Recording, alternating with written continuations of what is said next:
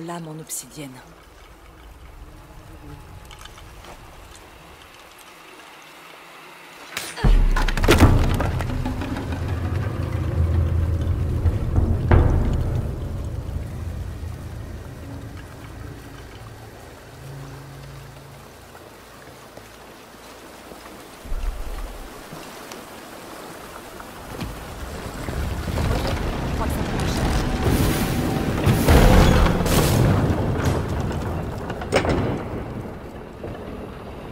La porte est ouverte.